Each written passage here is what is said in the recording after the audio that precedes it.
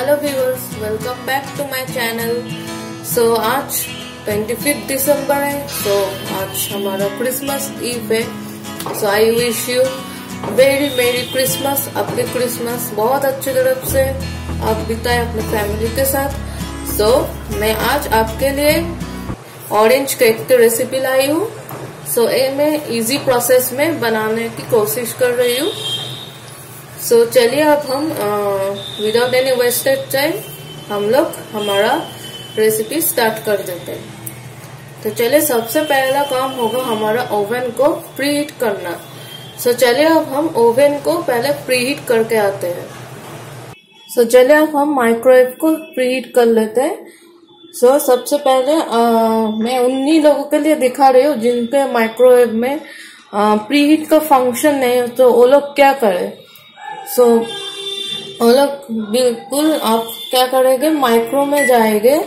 Micro में जाकर 360 degree में आप टाइमर लगा दीजिए। 10 मिनट्स के लिए या फिर 7 टू 8 मिनट्स लगता है। तो सो मैं यहाँ पर साढ़े एट नाइन मिनट्स के लिए मैं प्रीहीट कर लूँगी। तो स्टार्ट कर दो ठीक है सो मेरे माइक्रोवेव में प्रीट का फ़ंक्शन है पहले से, लेकिन मैं उन लोगों के लिए स्पेसिफिकली दिखा रही हूँ जिन लोगों के लिए फ़ंक्शन नहीं है। ठीक है ना? तो आप ख्याल रखिए, आपका माइक्रोवेव के अंदर कुछ चीज़ नहीं होना चाहिए। ठीक है? तो आप पहले चेक कर लीजिए कुछ है या नहीं, उसके बाद आप प्रीहीट कर ले। चलिए अब हम एक मिक्सचर को बना लेते हैं। तो चलिए आप शुरू करते हैं। सो so, सबसे पहले हमें एक लेना है। सो so, मैं यहाँ पर दो एक यूज़ कर रही हूँ।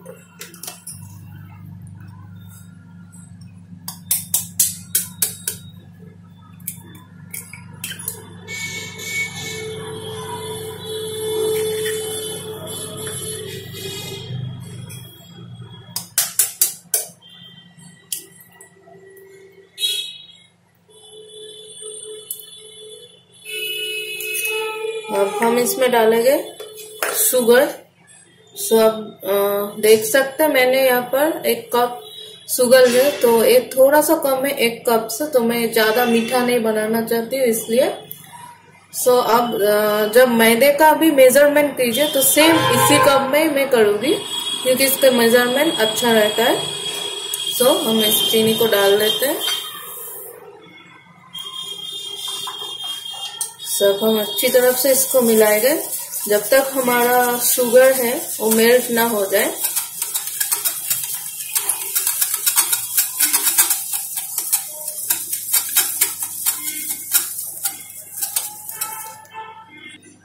तो लीजिए, हमारा शुगर बिल्कुल मेल्ट हो चुका है। तो देखिए, बहुत अच्छी तरफ़ से मिल चुका है। चलिए, अब हम इसमें डाले गए 50 ग्राम्स ऑफ़ बटर।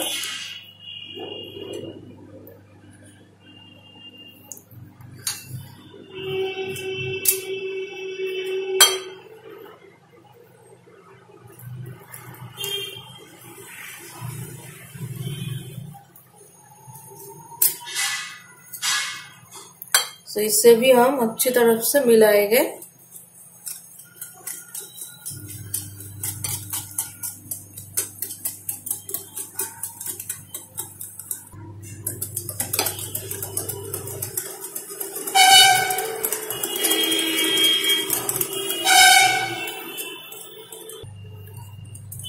आपके पास अगर बटर नहीं हो तो आप क्या करेंगे? आप white oil edible white oil जो होता है, उसमें डाल सकते हैं।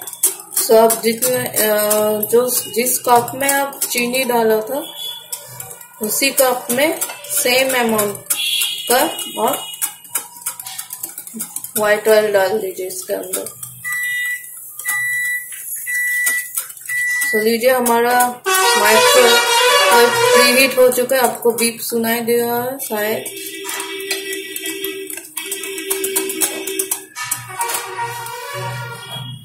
सो लीजिए हमारा बटर भी इसके साथ मिल चुका है। चलिए अब हम बाकी ड्राई इंग्रेडिएंट्स को इसके साथ मिलाते हैं। सो so, सबसे पहले हम मिलाने वाले हैं इसमें हमने अंडा दिया हुआ है सो अंडा का फ्लेवर अगर नहीं आए तो इसके लिए हम इसमें डालेंगे सिनामन पाउडर सो इससे क्या होगा, थोड़ा अलग सा फ्लेवर आएगा हमारे केक में. क्योंकि ऑरेंज केक है तो ऑफकोर्स हमारा, हम लोगों को ऑरेंज जूस देना पड़ेगा. सो मैं यहाँ पर टू ऑरेंज का जूस है ये. ठीक है. Orange juice. और हमें देना पड़ेगा ऑरेंज टेस्ट सो so, मैंने इन्हीं ऑरेंज से हम मैंने निकाला हुआ है। इससे अच्छी तरह से खुशबू आएगा।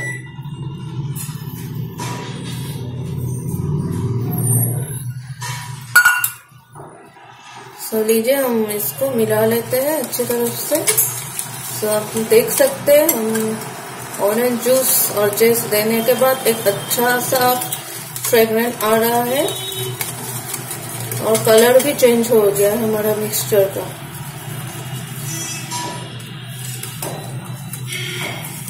चलिए अब हम इसमें डालेंगे ड्राई फ्रूट्स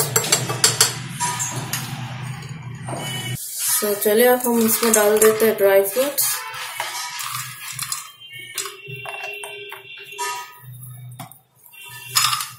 अब हम इसको अच्छे से मिला लेंगे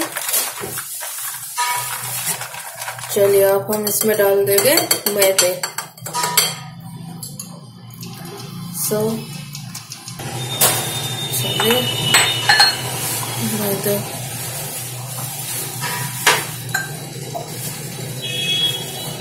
तो मैदे के लिए अब मैं इस बेस्ट मेज़रमेंट होगा। अब जिस कप में अब चीनी डाला हुआ था, इसमें सेम कप अब लीजिए। ठीक है, उसके पूरा पूरी एक कप हमें डालना होगा मैदा।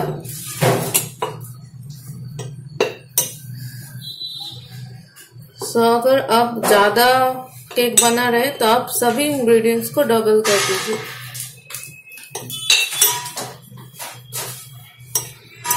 सो आप देख सकते हैं, मैंने पूरा इसका लिया है, पूरा एक कप। तो हम डाल देंगे।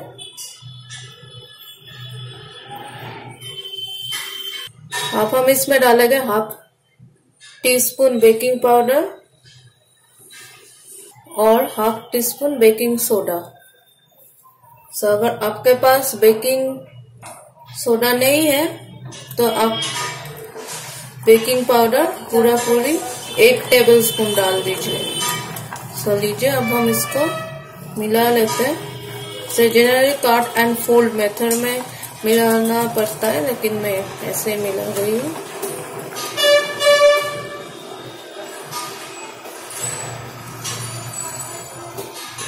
अब जितना मिक्स करेंगे केक मिक्सचर को उतना अच्छा और फ्लफी बनेगा आपका केक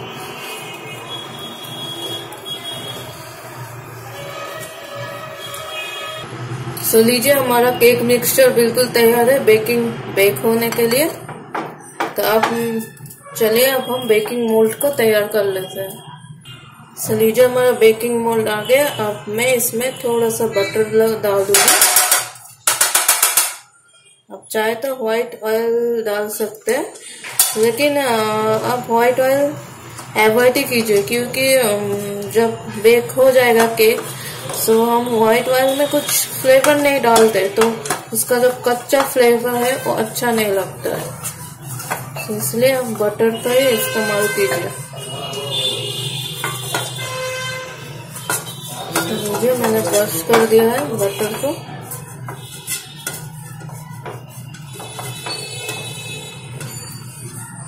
से।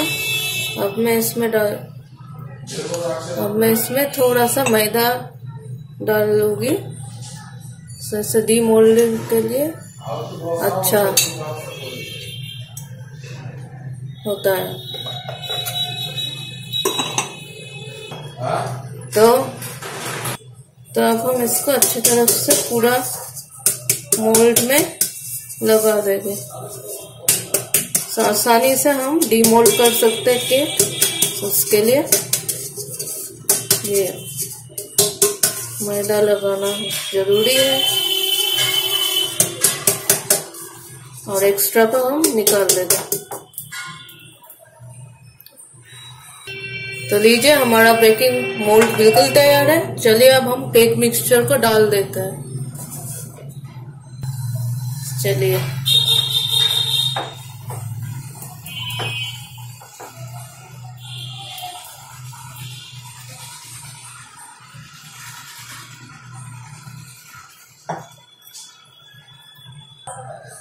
सो so, अब हम इसको थोड़ा सा ऐसा टैप करेंगे।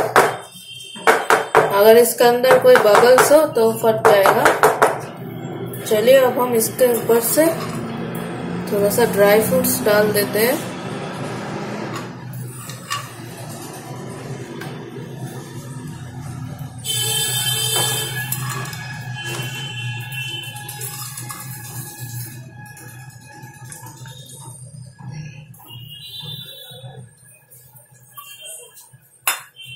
चलिए, अब हम इसको माइक्रोवेव के अंदर डाल देते हैं। सो so, हमारा माइक्रोवेव बिल्कुल प्री हीटेड हो गया। तो चलिए अब मैं इसके अंदर रैक का इस्तेमाल करने वाली हूँ। सो so, मैं यहाँ पर रो रैक यूज़ कर रही हूँ। ठीक है आप हाई रैक भी यूज़ कर सकते हैं। सो so, अगर आपके पास रैक नहीं हो तो आप आ, रैक का आप डायरेक्ट भी आप माइक्रोवेव में रैक की वजह से क्या होगा? जो केक हमारा बनेगा तो नीचे से भी हीट अच्छी तरफ़ से मीन्स चारों तरफ़ से अच्छी तरफ़ से हीट आएगा। तो ठीक है। तो लीजिए, आप हम डाल देते हैं हमारा क्रेक मिक्सचर तो अब मैं कॉन्वेक्शन मोड में, ठीक है, इसका जो हीट है वो पहले से ही फ़ंक्शन दिया हुआ है। तो अब इसको टाइमर लगाओगी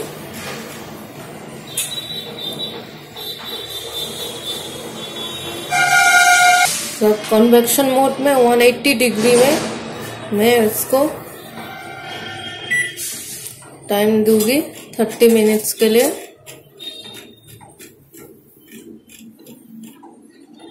सो so, अगर जिन लोगों के पास कन्वेक्शन नहीं है तो ये स्टार्ट कर दो। सो वो लोग क्या करेंगे वो लोग माइक्रो में 360 डिग्री में इसको बेक करेंगे फॉर 30 मिनट्स सेम टाइमिंग से। ठीक है चलिए अब हम थर्टी मिनट्स वेट करते हैं। और पंद्रह मिनट के इंतज़ार उसके बाद हम केक को लेंगे। सो? लीजिए हमारा थर्टी मिनट्स हो चुका है तो अब हम इसको स्टॉप कर देंगे और इसको ओपन करेंगे। चलिए केक को निकाल लेते हैं। सो so, देखिए कितने अच्छे तरफ़ से हमारा केक बेक हो, हो चुका है। सो so, अब हम क्या करेंगे? चेक करेंगे अच्छी तरफ़ से अंदर से भी बेक हुआ है या नहीं। तो एक नाइफ लीजिए और इसको सेंटर में ऐसे करके सही है? देखिए बिल्कुल क्लीन नाइफ निकल आया है। इसका मतलब अंदर भी अच्छी तरफ़ से बेक चलिए अब हम इसको डीमोल्ड कर लेते हैं। सो so, पहले आप ऐसे प्लेट ले लीजिए। प्लेट लेकर इसको ऐसे कर दीजिए। चलिए अब केक को डीमोल्ड कर लेते हैं।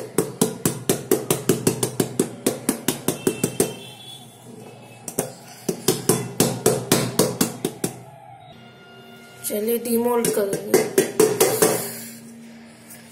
देखिए कितना अच्छे तरफ़ से निकल आया है। चलिए इसको पलट लेते हैं। सो लीजिए, हमारा ऑरेंज केक बिल्कुल तैयार है। I hope you have enjoyed this recipe see you next time